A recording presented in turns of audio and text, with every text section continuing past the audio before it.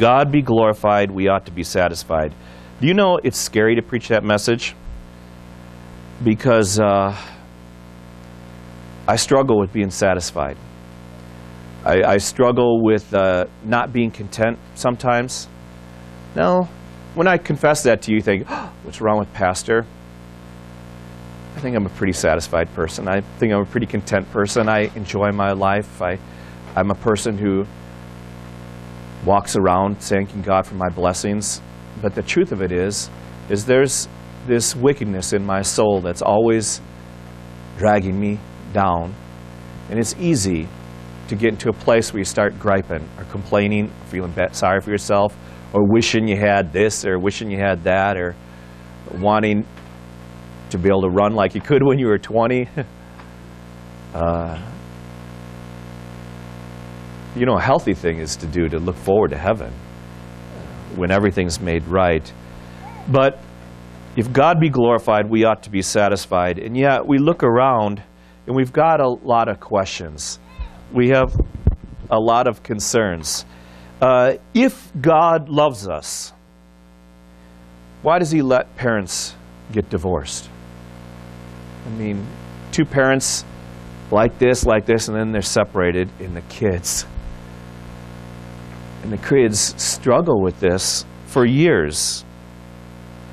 I know adults whose parents were divorced when they were children who still struggle, who still struggle. Hard to have trust. He allows people, God allows us to struggle with sins that they wish they didn't have. You know, if I could sign a paper, Dan would never be impatient again. I'd sign that in a heartbeat.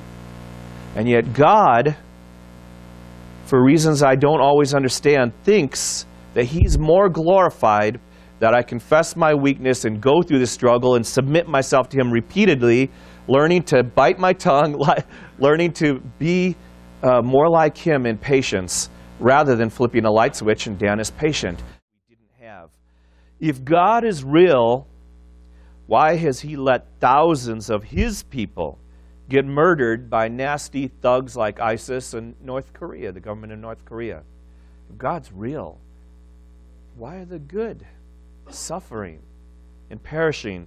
People that are brothers and sisters, people that we would worship with and pray with and rejoice with because uh, they may speak a different language, but we've been brought together around one Savior. We're meeting together at the foot of the cross because we're sinners who need the Savior, and we're unified across the bounds of language and culture and, and, and flags by the blood of our good, good Savior. And yet, He lets His people suffer and die terribly, uh, praying for salvation and getting their heads cut off. If God knows what He's doing, why do some children go hungry? Get raped, have to fight cancer, suffer, and die. Have you ever heard anybody say, if God was real, why should even one child go hungry? And think about this if you had the power to end cancer, to end hunger and the abuse of children, you would end it, you would end it in a heartbeat. You'd end it before I finish this sentence.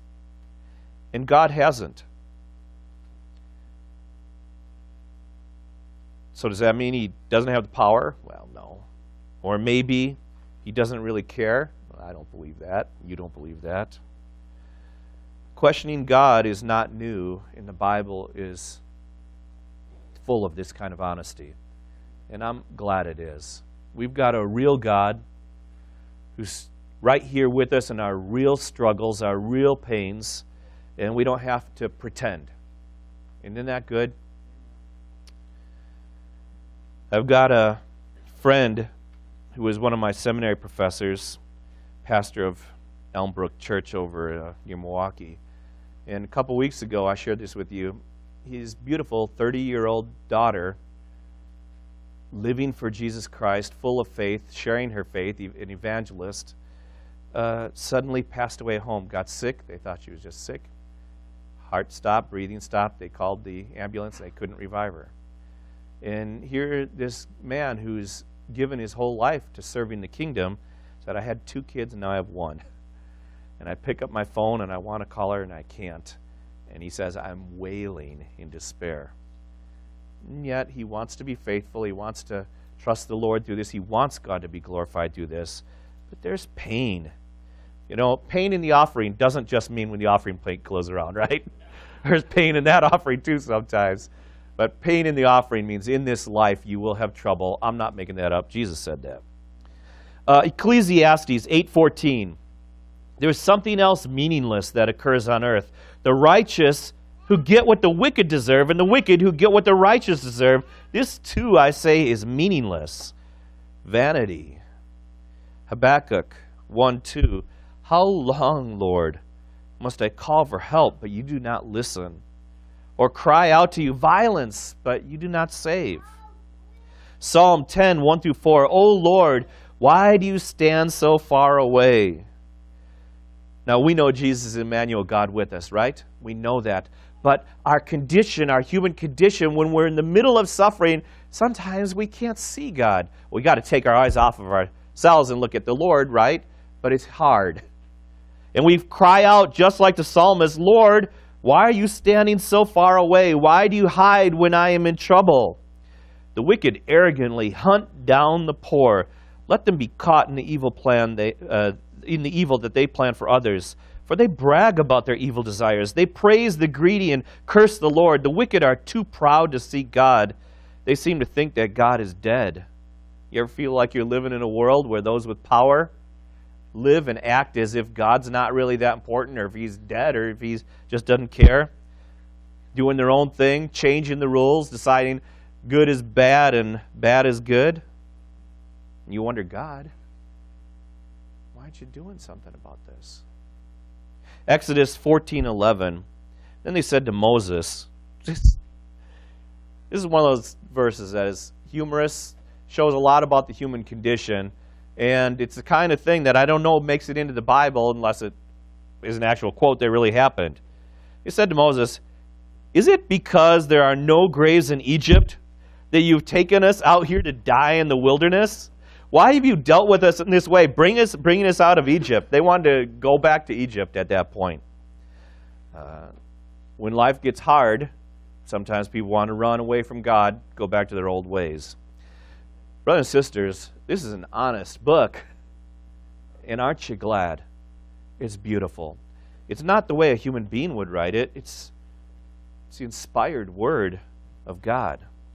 We're going to read the first half of John chapter 11, so you can turn there in your Bibles today.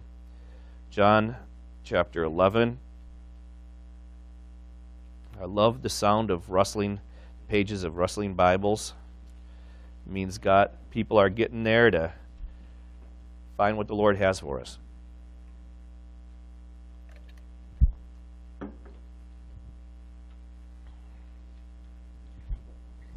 We are going to see Jesus questioned today. Uh, have you ever thought that we would never be like the disciples or we'd never be like the children of Israel wandering in the wilderness for 40 years? If God were here, we wouldn't ask any questions. Well, God is here. We have the Holy Spirit within us, and we do ask questions. Uh, people doubted Jesus' judgment. His inner circle the ones he invested his life in. He ate with them, he walked with them, they lived together, they went with him everywhere. They were covered in his dust as he'd walk along the roads. They were that close to him. They could feel his breath on their faces when they gathered together to pray, and they questioned him.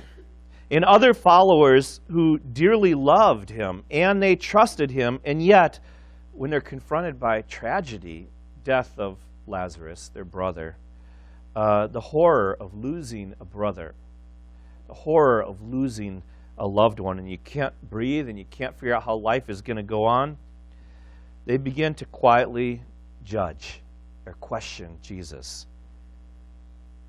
If you would have done something, and you can, right? This would not have happened. Have you ever been there? Well, you're in good company. A lot of folks in the Bible have been there too. Let's look at this John 11, 1 through 16.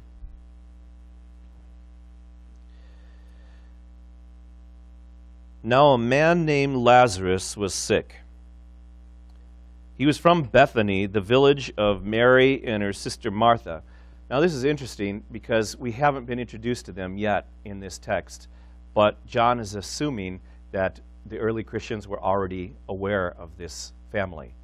And so it could be that he knew that people already had Matthew, Mark, and Luke, or this was just common knowledge. It was still verbally being spoken of by these first, second generation Christians. So he, he brings up this couple and he just assumes that we know them. And then in verse 2, he said, This Mary, whose brother Lazarus now lay sick, was the same one who poured out perfume on the Lord and wiped his feet with her hair.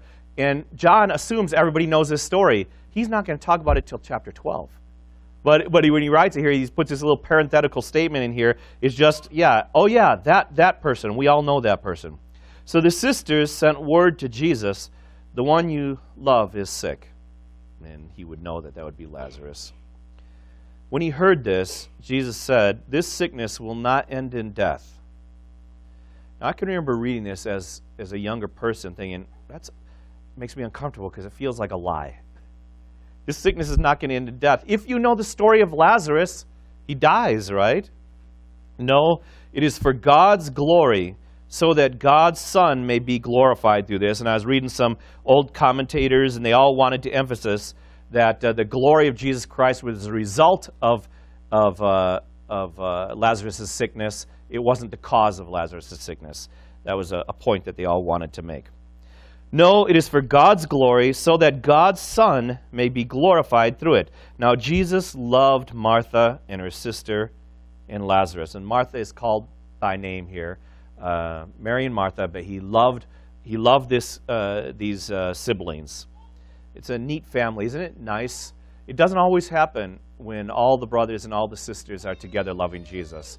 I don't know if they had other members of their family that weren't walking with the Lord, and that's why they're not mentioned. But these three, two sisters and a brother, very different people, different personalities, all of them followers of Jesus Christ. Jesus loved Martha. Jesus loved uh, her sister Mary and, and Lazarus. All different. We have a shepherd who knows his sheep, and we're different, and yet he loves each one of us. This, I, I don't I'm, I'm concerned that the message this week is, is obviously so much higher than the messenger. I'm concerned that what really moved me, I'm not going to be able to communicate today. But it, it really touched me the differences in these two sisters and this brother. Different people. And yet Jesus loves each one of them. So, when he had heard that Lazarus was sick, he stayed where he was two more days. You didn't see that one coming, did you? So they sent messenger, Lazarus, whom you love, is sick. And Jesus loved him. And he heard this and he waited around. He tarried two more days. Then he said to his disciples, Let's go back to Judea. Now, Judea was where he left. People were trying to kill him. But, Rabbi, Sensei, teacher, they said, a short while ago the Jews there tried to stone you, and yet you're going back? Jesus answered, are there not 12 hours of daylight? Anyone who walks in the daytime will not stumble, for they will see with the Lord's light. It is, it is when a person walks at night that they stumble, for they have no light. Basically, what he's saying is do what God wants you to do. We're going to fall down when we don't do what God wants us to do. Then we'll be walking in the darkness. After he said this, he went on to tell them, Our friend Lazarus has fallen asleep, but I'm going there to wake him up. His disciples replied, and it's funny to me how often they did this. Uh, like when the Lord uh, healed the woman who was bleeding for so long, he said, Somebody touch me. And he said, Lord, you're surrounded by a lot of people. There's a lot of people bumping into you. They always thought they had to explain things to Jesus. Jesus said, I'm going to go there and I'm going to go wake him up. His, and his disciples said, Lord, if he sleeps, he's going to get better. Jesus had been speaking of his death, but his disciples thought he meant natural sleep. So then he told him plainly, Lazarus is dead. and you could just imagine that conversation. Lazarus is sleeping. I'm going to go wake him up. If he's sleeping, that's good. He's good. That's not bad. He's going to get better. He's dead, guys. So he told them plainly, Lazarus is dead, and for your sake, I am glad I was not there, so that you may believe. But let us go to him. Wow. Then Thomas, remember him? Doubting Thomas also known as Didymus, said to the rest of the disciples, All right, let's go. We'll just go die with him, I guess. Uh, they're, they're going, and he's faithful. He's going to be with his master. But he does not think this is going to end well. He's doing what he thinks is right, even though he thinks it's not going to end well. Verse 4 again this sickness will not end in death. I, I emphasize that in my notes, put it in capitals, and made it bold. See, Jesus didn't say he's not going to die, he said it's not going to end in death. Now, if, if, again, if you know Lazarus' story, it's interesting for Jesus to say this, that it's not going to end in death, because Lazarus is going to die, right? Lazarus dies, and Jesus goes there, and he says, Lazarus, come forth. And uh, Lazarus stumbles out of the tomb, and I'm imagining some little kid said, Daddy, and others said, Mummy. Uh, that, you know, I'm probably going to do that again next week, so just get ready. you know, there's a handful of people in the Bible that get resurrected. You know what that means? They had the blessing of having to die twice. Not, not that great. I mean, you do it if it's for the Lord's glory. And you're thankful for that time with your loved ones. But that's death, I'm assuming, I'm thinking, is probably one of the most difficult things we have to go through, and having to face that twice, that's hard. But Christ is seeing a bigger picture here, as he always does. We see just a small portion of our lives. God sees the big picture, and he very confidently proclaims that Lazarus' story doesn't end with death. He goes through it. He doesn't stay dead. Brothers and sisters, your story will include death if Christ doesn't come back and, and take us out of here in our lifetimes. Your story is going to include death. If you put your faith in Jesus Christ, your story does not end with death. In fact, I really believe that this life we hold on to, and it's precious and it's a gift, and we love the people that God has put into our lives. And we're afraid and we don't want pain. It's kind of silly to want pain. But when this heartbeat stops and this brain flatlines, we wake up in the presence of the Lord in paradise that we were created for. Remember, Adam and Eve were created for paradise we wake up and we breathe in the fresh air of eternity, and we're basked in the love and the acceptance of our God, all of our sins wiped away, every tear washed away, we're going to wonder, why was I holding on so tight? And, and I don't believe that there is a pain we can go through. There's not a struggle we can go through. There's not something that's so, a suffering that's so great that we won't say, oh, thank you, it was worth every moment to be here. Our story does not end with death. Let's continue reading from verse 17 now, and we're going to go through 37. On his arrival, so he, he walked with his disciples to Bethany. On his arrival, Jesus found that Lazarus had been already been in the tomb for four days. Now, Bethany was less than two miles from Jerusalem, and many Jews had come to Martha and Mary to comfort them for the loss of their brother. And so, from the text, I wonder if they're, they're not a wealthy family, because Martha prepared the meal herself instead of having a servant, or, or maybe she had a servant she was directing, but they do seem to be a, a well off family. And they have a lot of people who are coming out uh, to meet them. When Martha heard that Jesus was coming, Martha went to meet him but Mary stayed at home. Uh, Martha is the one that always acts, okay? She's the one who was uh, preparing the food while Mary was sitting at the feet of Jesus. Now she hears Jesus is coming. She goes out. She wants to go out to meet Jesus, but Mary stayed at home, and the reason was she was crying so much for her brother. Her heart was broken and devastated, and she was at home totally distraught. Now, Martha probably had a broken heart too, but she she was a little more in control of her emotions and, and didn't let them show the way Mary does. Lord, sa- said Martha to Jesus, If you had been here, my brother would not have died. You see, there's a beautiful faith there. There's a little bit of accusation there. These are real people. They believe in Jesus, and yet why did this happen? This did not have to happen. We worship a God, and anything is possible with God. And yet, he did not choose to act at that time. If you had been here, my brother Lazarus, and people think it was probably their little brother since Martha's always mentioned first. She owns the home, so she's maybe the big sister, then Mary. You know how you love those little guys in the family? How the bigger brothers and sisters love the little guys? And the little guy was taken from them. I remember when I was growing up, I was 17 when my sister Rachel was born. I used to, and mom and dad love Rachel more than the rest of us. Everybody knows that. And I, I used to pray seriously, Lord, please protect Rachel. If you have to take one of us, take me. Don't take it because that'd be too hard for mom and dad. And then I got married and had kids of my own. And I love my sister Rachel, but I stopped praying that prayer because I've got responsibilities. Uh, now it's Lord, take no, no. that was a joke. If you had been here, my brother would not have died. But I know that even now, God will give you whatever you ask. Jesus said to her, Your brother will rise again. Your brother will rise again.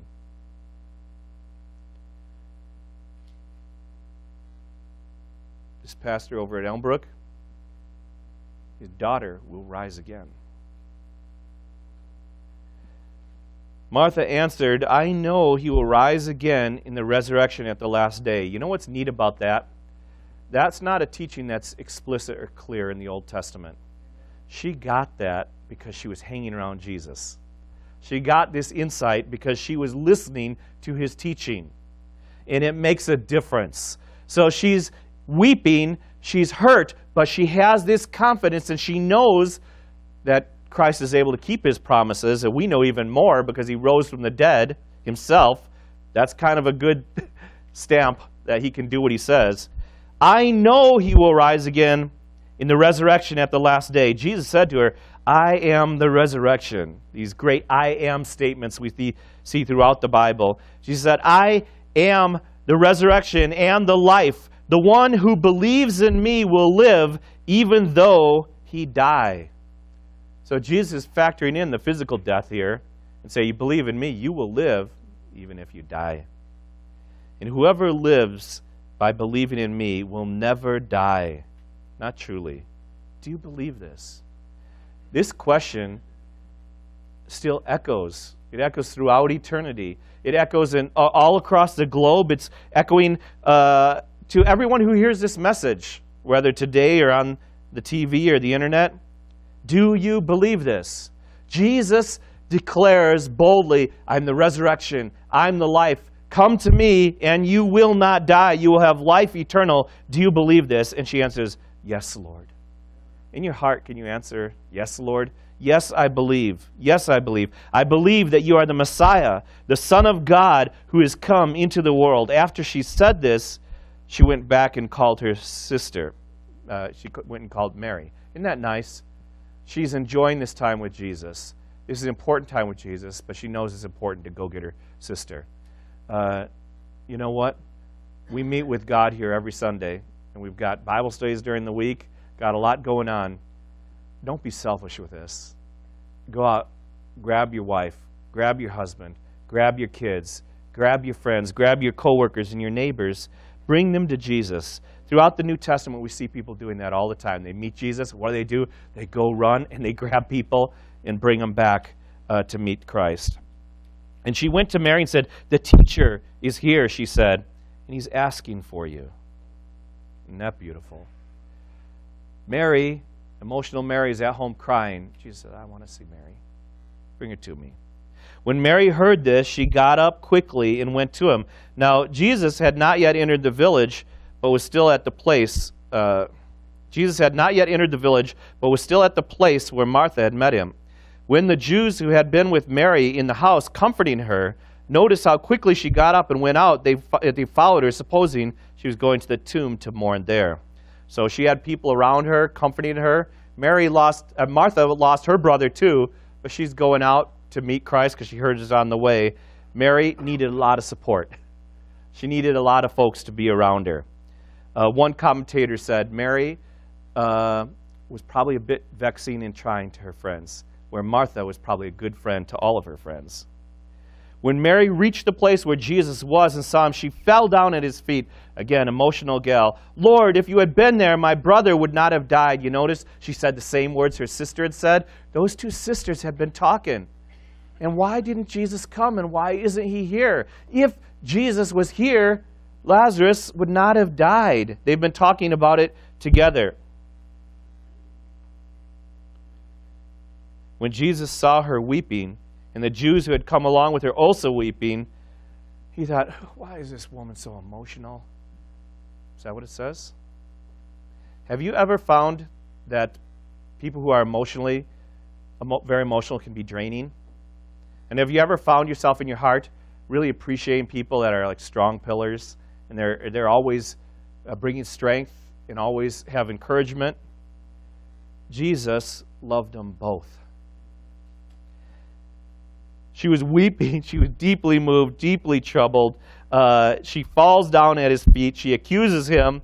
And in the middle of this accusation, Jesus says, These people have no faith. Away from me? No. He was deeply moved in spirit, and he was troubled. Where have you laid him? He asked. Come and see, Lord, they replied. Jesus wept. I know that the original verse, the, the verses, the original didn't have verse markers. Uh, I think it's nice that the shortest verse in Scripture is God saw our pain and He was with us there and He wept. I shared this with you before. I don't buy into this idea that, well, we're just like raccoons and mice and other roadkill. We're just animals and when we die, we recycle ourselves back, and isn't that so beautiful? Or we're just stardust, and we can die and be more stardust. There's no beauty in that. The people you love, there's no God, they're just dead and gone. And everything they've done will be forgotten in a generation or two. Think back to great grandma, great great grandma, great great grandpa. Uh, and the things we do, the choices we make that, that we think are so important, will not matter for the most part once we're gone, if there's no God. But we've got a God who doesn't tell us, get over yourself. It's not a big deal. We have a God who sees us in our pain and in our suffering. And instead of kicking us to the curb, instead of saying, Why aren't you stronger? Why aren't you less emotional? weeps with us. I have a Savior who weeps with me. I'm thankful for that. Then the Jews said, See how he loved him. Isn't that neat? Because he wept with them, because he had emotions that showed the people around said, Wow, he cares. Jesus really cared about Lazarus. But some of them said, Could not he who opened the eyes of the blind have kept this man from dying? Fair question, right? Fair question. He gives and takes away, and we don't under, always understand why. The greatest Christians who have ever lived have died if they're not living now. That's, that's called logic, right? Uh, if, if they're not alive now, that means these great men and women of faith who had faith to move mountains, who, who laid down their lives, lived, sacrificial lives for the kingdom, doing all they can to bring people to faith in Christ, uh, who believed that Jesus is a great physician and saw miracles in their lives, these people still died. But their story didn't end in death, they went on to glory. Martha, Mary, Lazarus. I was reading something called the Interpreter's Bible, and they called them the unknown friends of Christ. There were a lot of people in the Bible who we know even less about than them uh, people who come in and out of the story. Some of them we don't even give their names, but they are people who followed Jesus.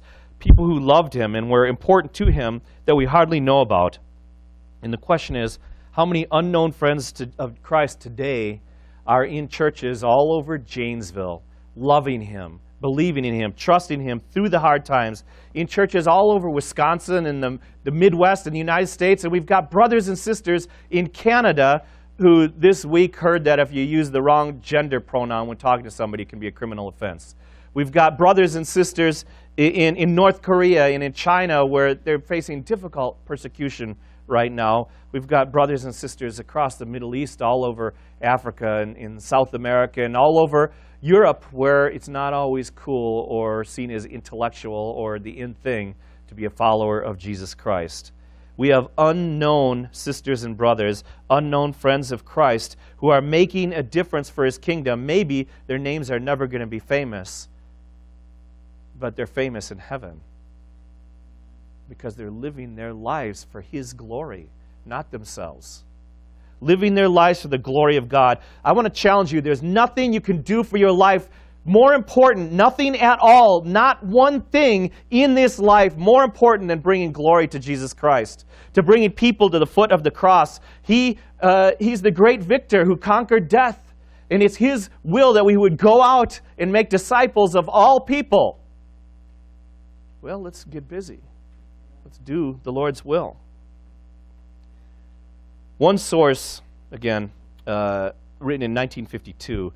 This is, uh, I remember I did this last time too. Uh, moms, you kind of probably remember when I spoke on Hell on Mother's Day once.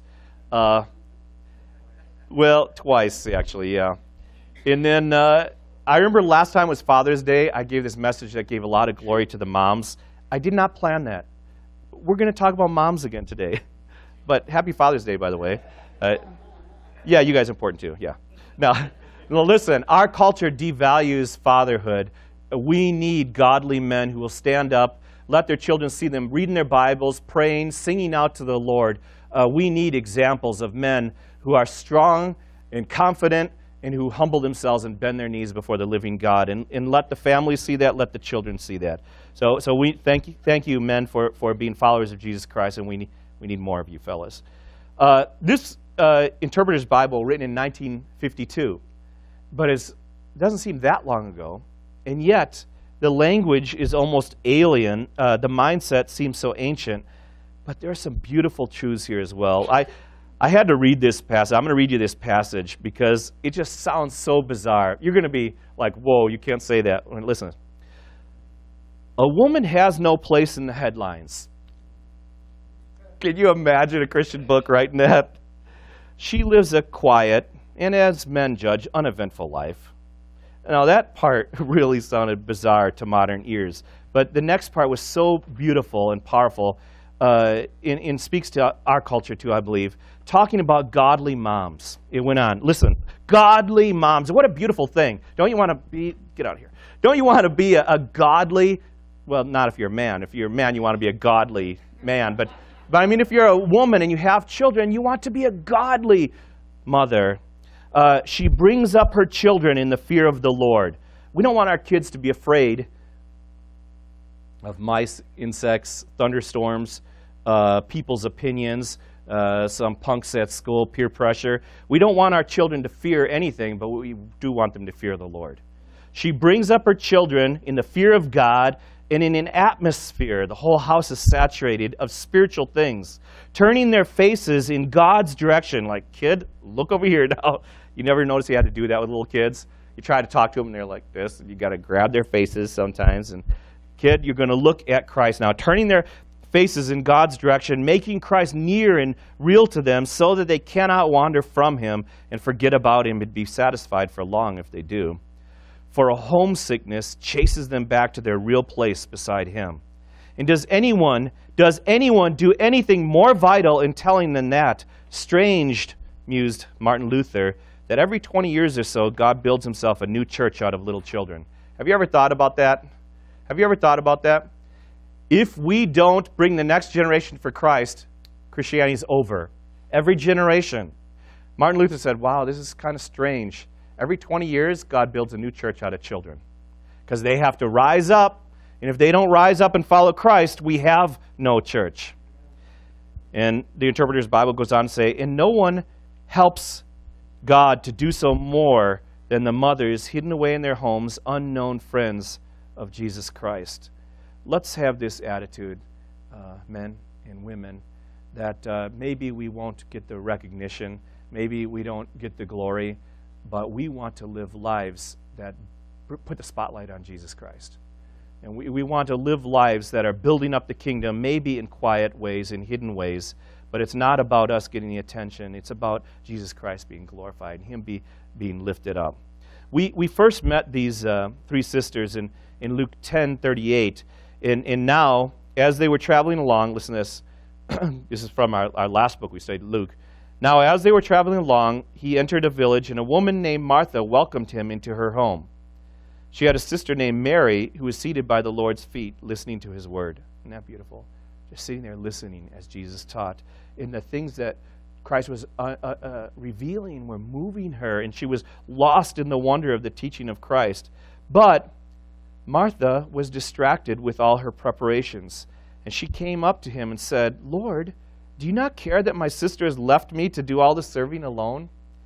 I really always feel for Martha when I read this because Mary, uh, sweet Mary, uh, she was there sitting while guests were in the home. An important visitor was in the home. There was a lot of people there. There was a lot of preparations that had to be done. And Martha was trying to, I'm trying to do this to be a blessing to those folks. And, and she's, she's busy, she's working, she's focused, and yet she's starting to sin.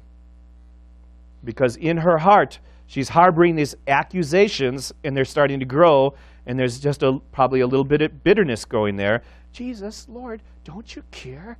She's sitting on her backside. And, and probably she was sitting there nice and cool. And probably mary's got sweat dripping down her face as she's running around trying to get things ready because she's trying to take care of people. Don't you care that my sister left me to do all the serving alone then tell her to help me you notice she's also, she's not only accusing her sister, who else is she accusing? Jesus. Those are nice stories, but we've got work to do.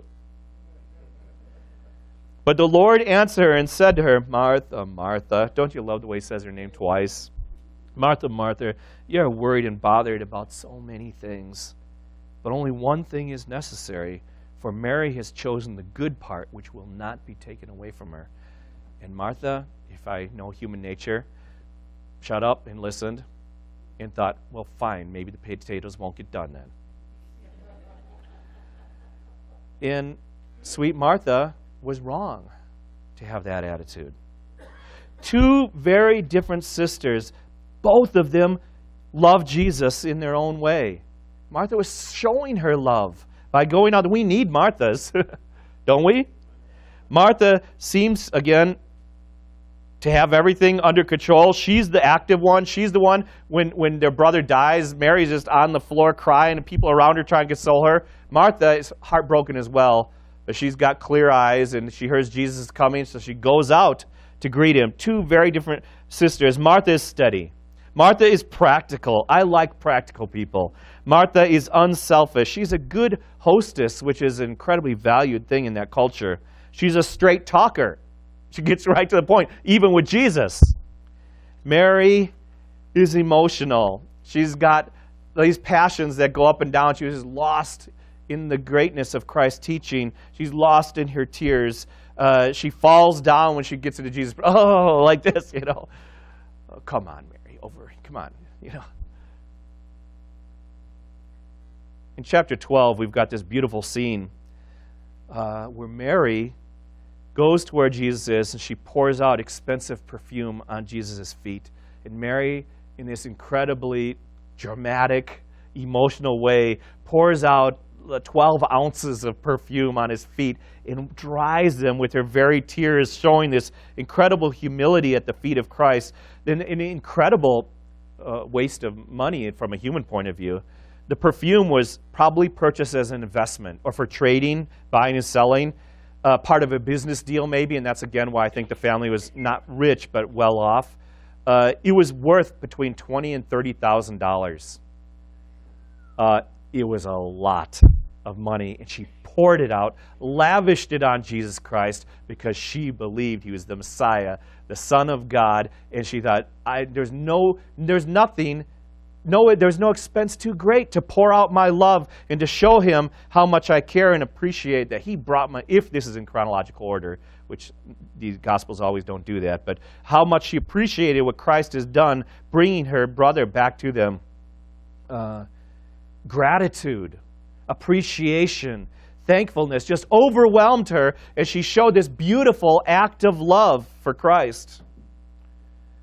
Two different sisters this blew me away this week because it's easy to be to think that Martha would be an easy person to be around. And you might think Mary's kind of dramatic. She's a she's a drama queen. Uh, she's very emotional. And Jesus loved them both. And Jesus, when she fell down weeping, he wept with her. What a God we have. What a good God we have. Matthew Henry's commentary talking about this whole scene, talking about how Christians die, uh, said, It's no new thing for those whom Christ loves to be sick. It's been happening for 2,000 years, right? It's been happening from the time of Adam and Eve after the fall. He came not to preserve his people from these afflictions, but to save them from their sins and from the wrath to come. However, it behooves us to apply to him in behalf of our friends. What was it? Behooves us to apply to him in behalf of our friends. He said, pray. Go ahead and pray. Eh, our friends and relatives, when they're sick and when they're in tough circumstances, let us reconcile us to the, to the deep dealings of providence that are there all that everything happens for the glory of God. Sickness, loss, disappointment are so. And if God be glorified, we ought to be satisfied. I want to be like that. God, if and, and I'm not. And that's why this message is scary for me. God, no matter what happens to me, if you're glorified, let me be satisfied with that. Meaning, when you're sick, be sick in a way that brings glory to Jesus. When you've got relationship troubles, when you've got economic troubles, when, when we face any of the struggles persecution, when people don't understand our faith, live through it in such a way that Christ is made attractive. We weep in this life. So did Christ, weeping for us. We die in this life. So did Christ, dying for us. But all of this is for God's glory. And our story, just like Lazarus' story, does not end in death if we have given our hearts and lives to Jesus Christ, if we become followers of Christ. It ends our lives in, in life and victory. That's how the story ends. You notice when you're going through a story or watching a movie, it gets difficult. But if you know how it ends, then maybe you're not so upset. Maybe you're not so distracted. So we should live our lives, and when the time comes, we should die our deaths, all to make the name of Christ beautiful. Because if God is glorified through our living and through our dying, then we should be satisfied.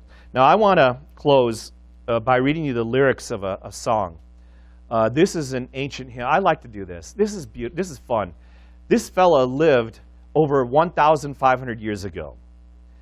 And yet the words of this song sound like they were written by a modern evangelical. And I love to go back and read some of these ancient documents and, and, uh, and find people who are our brothers and sisters living for Christ in their time. This hymn was written by somebody named uh, Romanus Melodus, which means Rome, the melody maker, or uh, Romanus, the hymn writer. He was one of the most famous uh, hymn writers of the early church. He was born in 490 AD. He was Jewish, but a convert to Christianity. Isn't that neat? Uh, he became a deacon in the church. Again, uh, wrote many of the hymns that the early church sang. And uh, the name of this hymn is The Raising of Lazarus or The Tears of Mary and Martha that a beautiful theme for a song? I learned about this song because I was studying Augustine's commentary on John 11, and he quoted this hymn. And I think that's neat that this great theologian quotes this hymn, which is kind of emotional, and it blew me away. It's 18 stanzas long. I'm not going to read it all. It was very theological, which was a good thing, but also a bad thing because some of the every, couple things in there I thought were a little sketchy. I cut those out. Uh, about 1,500 years ago, listen. Christ, knowing the thought of all, you asked to learn the tomb of Lazarus. In coming, you woke him, being four days dead, all powerful, feeling pity in your compassion for Mary's and Martha's tears.